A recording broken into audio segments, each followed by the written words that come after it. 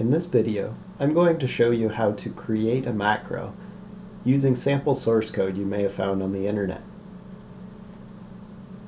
Here's a little bit of source code that takes a file whenever it's saved and it saves it like normal, but if it's a drawing, it will also save it as a PDF. To start off with, I'm going to copy this to my clipboard. Next, I need to create a new macro. So I'll select Tools, Macro, New.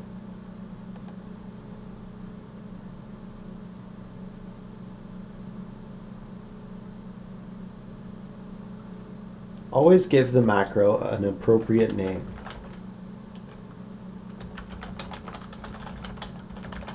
Save and create PDF.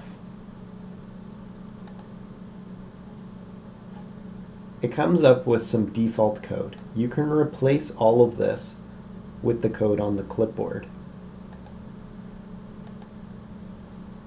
Once that code is inserted, it's done.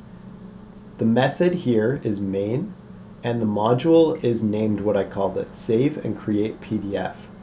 When I save this, I, will close, and I'll create a button to work with this. To create the button, right-click on the title bar and select Customize.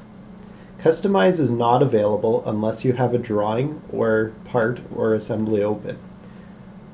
So to start off with, I will open one of those. Now I will right-click, Customize, Commands, Macro, and drag this button up and I'll put it right next to the Save button.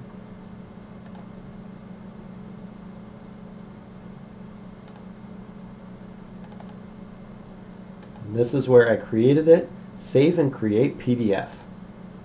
The reason why I mentioned the module and method names is because that's what here. If you have code that has more than one, you'll have to select it from this list.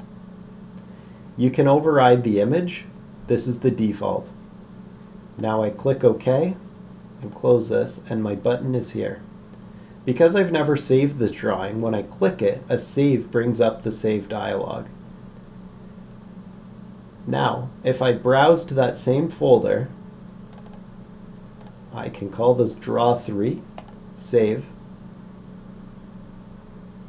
and a PDF was created. So if I click open, I see the PDF, the drawing, and the macro file.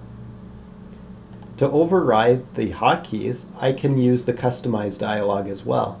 If I right click here, Customize, Keyboard, and I scroll all the way down to the bottom, my macro will be here.